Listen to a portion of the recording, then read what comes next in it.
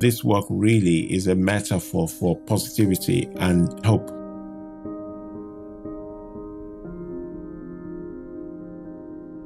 My name is Yinka Shonibare.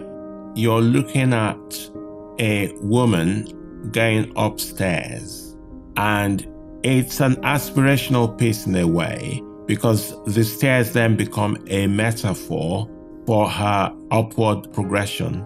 She's a woman who would have been enslaved.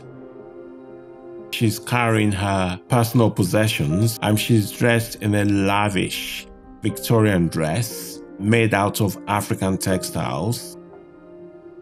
Her head is a globe, and the globe depicts the Great Migration in America that happened between around 1910 and 1970, when up to about 6 million African Americans migrated to look for work in the bigger cities and places like Chicago and uh, New York. I think this is an optimistic work. I think it's aspirational. It's also just an exploration of um, emancipation. I'd like people to kind of understand that there is always hope, regardless of the difficulties they might find themselves in.